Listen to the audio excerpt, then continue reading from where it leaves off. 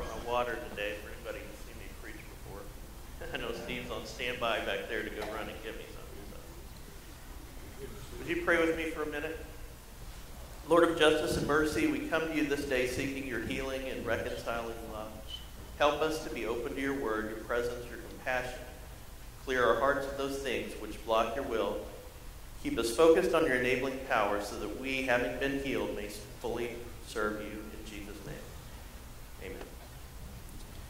So today we're talking about kindness, and when Pastor Cheryl first uh, got a hold of me to see if I could preach today, I was you know excited about it, but she said it was the the fruit was patience, and I panicked. uh, but then within a few minutes she wrote back and she's like, oh, you know, I'm sorry, it's about kindness. I'm like, okay, well I can do that. patience, no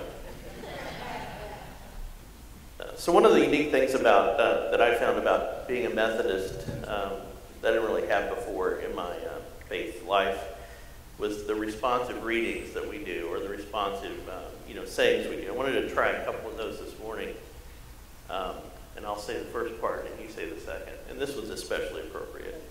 This is the day the Lord has made. Let us rejoice. Glad. That's right. Here's another one we do. He is risen. Peace be with you. How about this one? May the force be with you. and also with you. Thank you. Sorry. Wow. That was me. Well. maybe maybe you should stick to the script in church. I don't. At least it wasn't lightning. So I got one more, and this is not a Methodist or church saying, but if there's any children of the 80s, listen to this and, and, and see if you can uh, respond to this one with me. See how many people can remember. It's just one word. Be kind. Anybody? Rewind. Does anybody? So if you grew up around the same time I did, you'll remember how exciting it was when the VCR came out and you could go down to your local convenience store and rent movies. Uh, so you didn't have to watch what was on the three channels that were available. Every small town had one of these, and the big towns got like Blockbuster, uh, which had more better movies. But when you rented the tape, there were a long list of rules like um, it has to be back in 24 hours, or you're going to pay for it. Um, there's a late fee, if you break it or jam it up in your VCR, you bought it. And every tape had a sticker on it that said, be kind, rewind.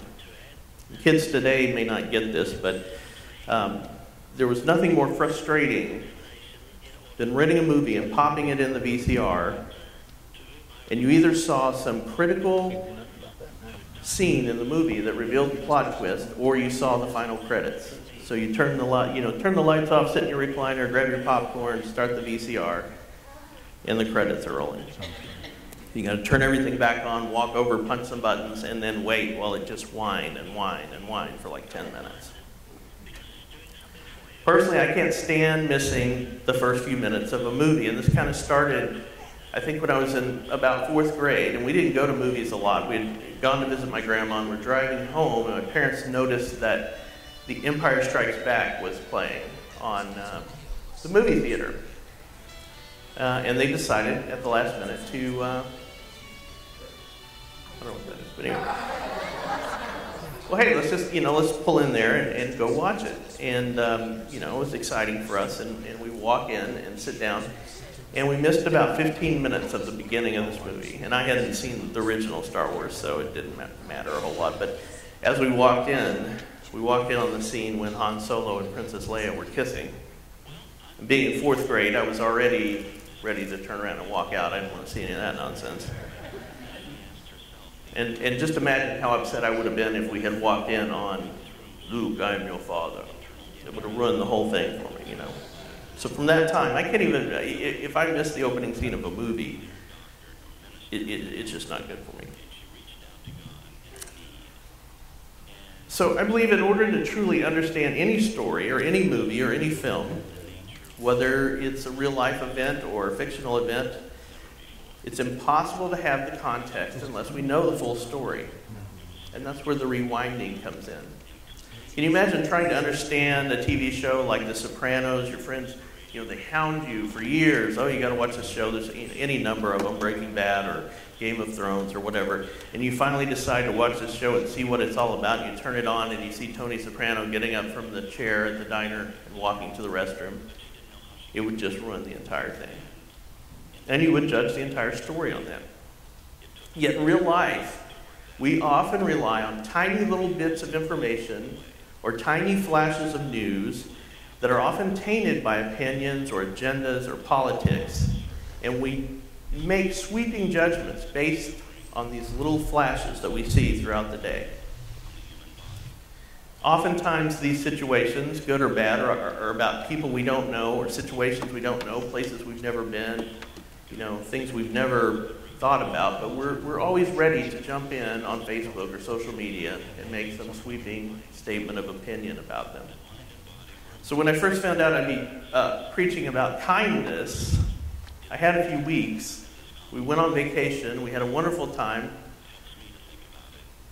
And I thought this is going to be easy. And I, you know, I ran the sermon through my head several times.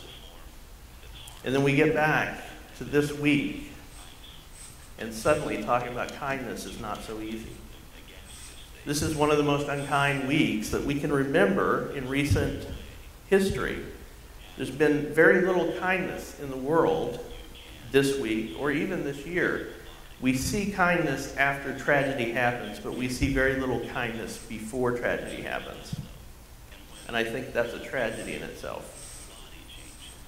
And for all the unkindness we've witnessed in the news, there's another more insidious type that finds its way into our lives through arguments, debates, social media, for me, I get caught up in this. It's, it's much easier and less frustrating for me to get into some heated political argument on Facebook than it is to read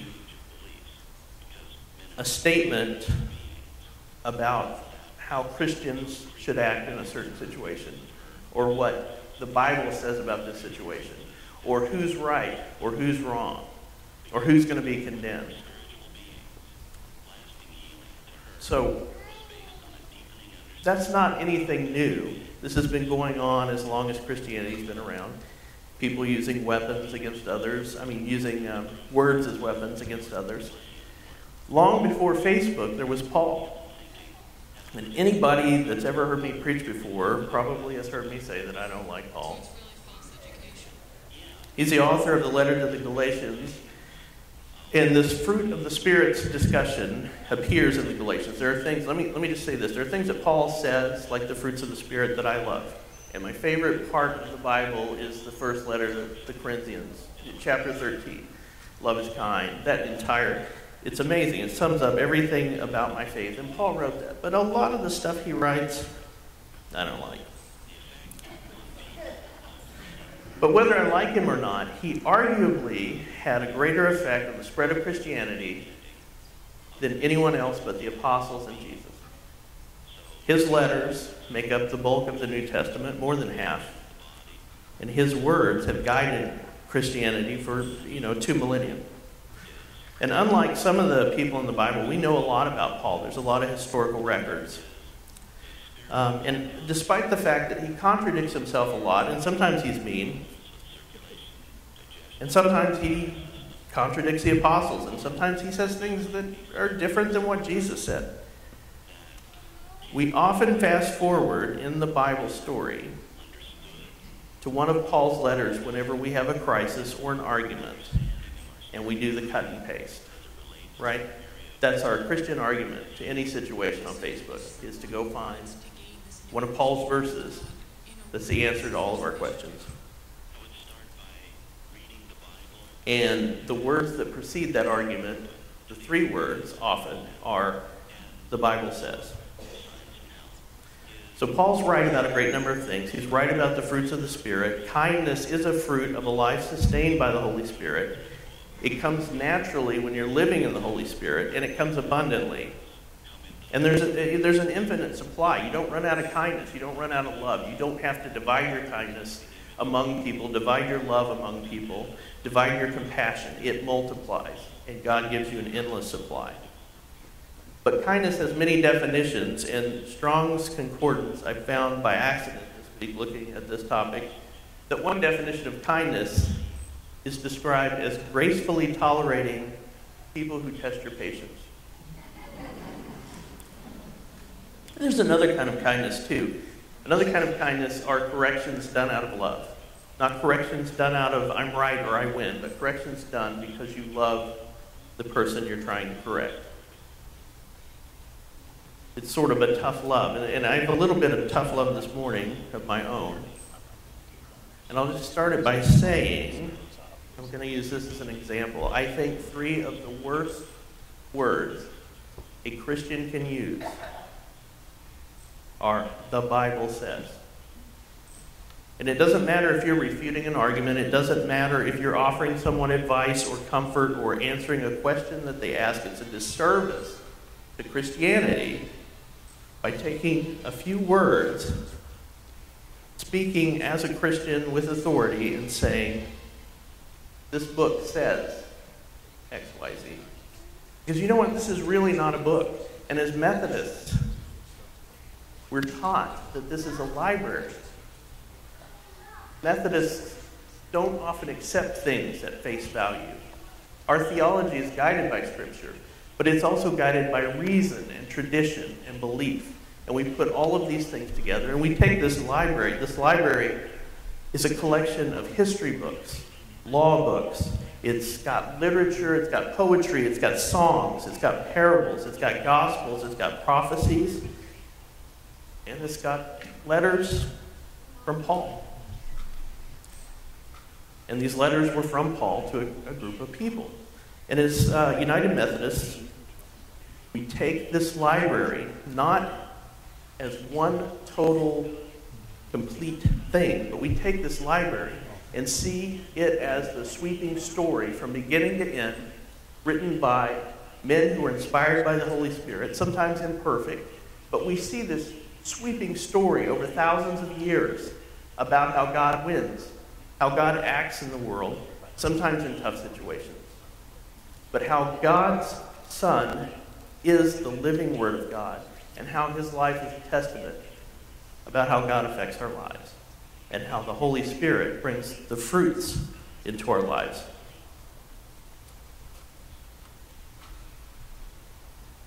So it often seems to me in these arguments, going back to the Facebook thing, it often seems to me in these arguments that when a Christian wants to make a point or put somebody down or correct them, the Bible only has two books in it Leviticus and Romans. That's where they always come from. That's all there is. You know, it's either Leviticus or Romans. That's where all the good quotes are. So back to Paul. I think it's important, as influential as Paul was and as, as amazing as some of his writings are, he says himself that he never met Jesus the man. He claims an epiphany, but he doesn't elaborate on it. And I found it interesting that the, the story of Paul being struck blind on the road was not one that Paul told himself. It was a story that was told in Acts, it was written by a different author. Paul does claim an epiphany, he claims the, uh, the recipient of the true good news. He claims that he receives authority from Christ and that our salvation is through faith. And that's, that's a primary guide for us today.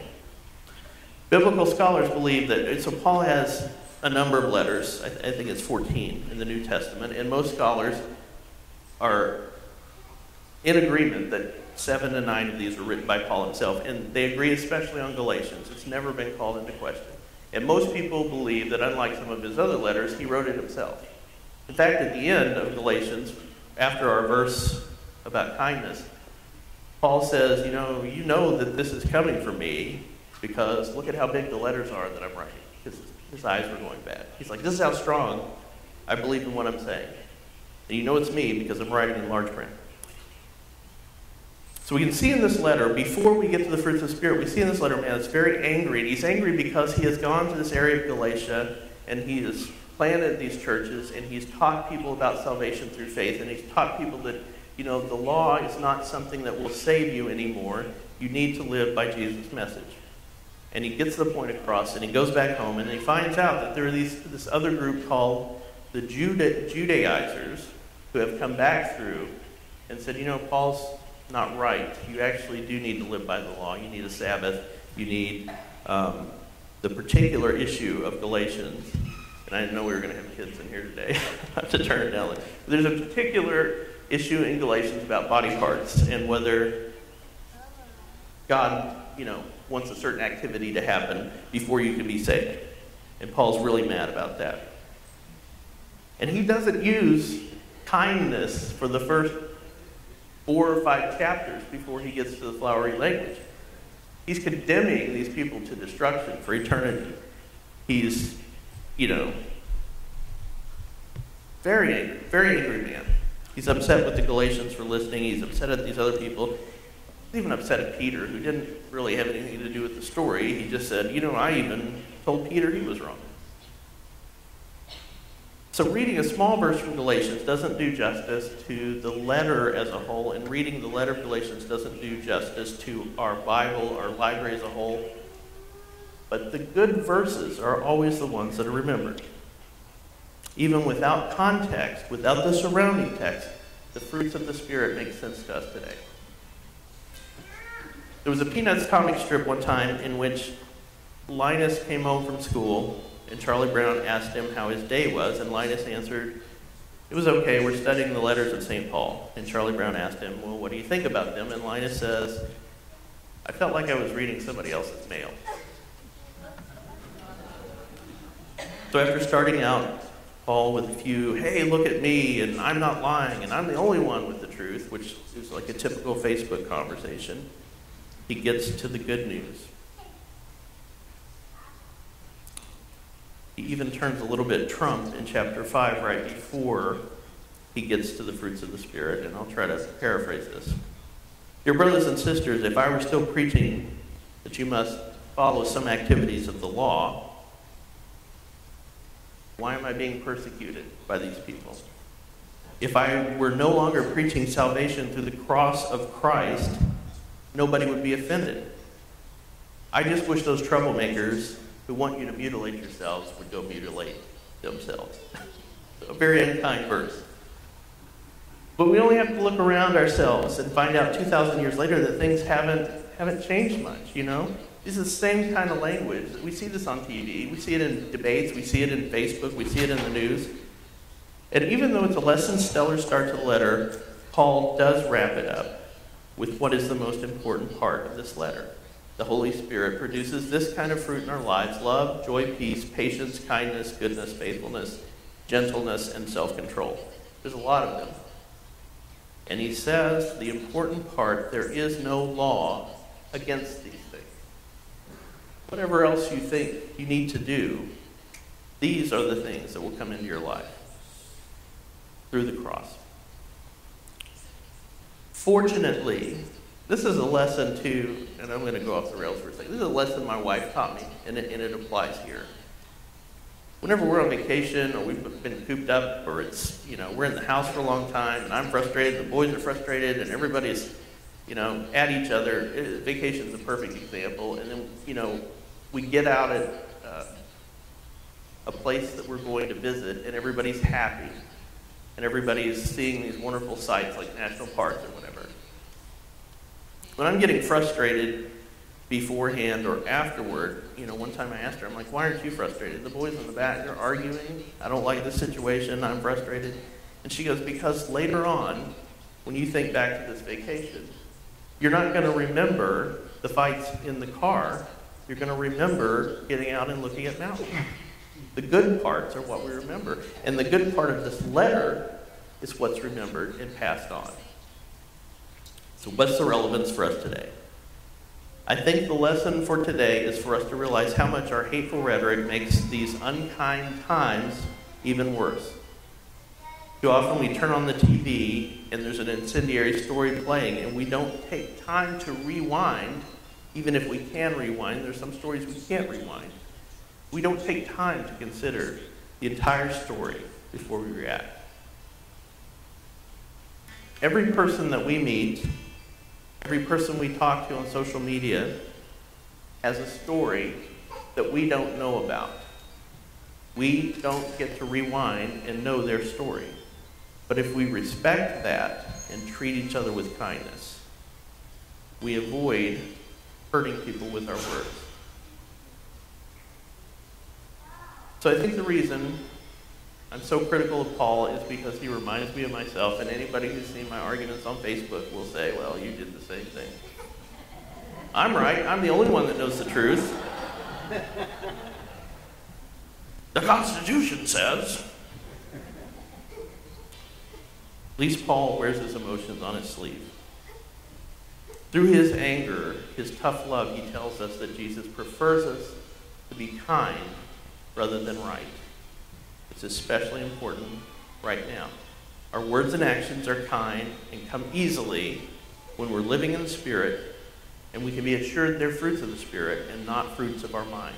If our words are unkind and our minds are closed, that's not God, that's not the Holy Spirit working in our lives. This is a lesson for myself as much as it is for others.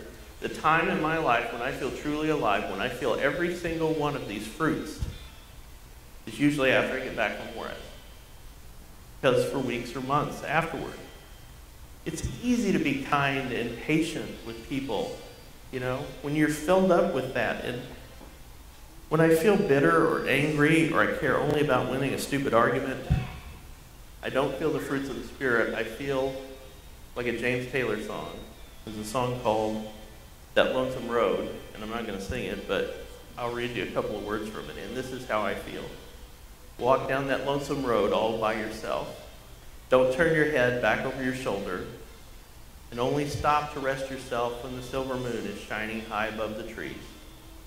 If I had stopped to listen once or twice, if I had closed my mouth and opened my eyes, if I had cooled my head and warmed my heart, I'd not be on this road tonight.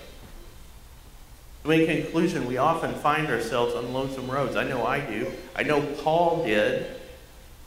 The important thing to realize is that kindness goes a long way in bringing us back, turning us around on the lonesome road. Sometimes, though, the need to be right, the need to be loud, the need to win can put us on a lonesome road that only goes one way and people's patient, patience runs out, and they're not really interested in helping us come back. So if I can say anything on this topic, and it's, it's not been a, like, kindness, yay, like I thought it was going to be. But if I can say anything, I would say, let's try to be kind. Let's try to rewind the story a little bit when we're dealing with others.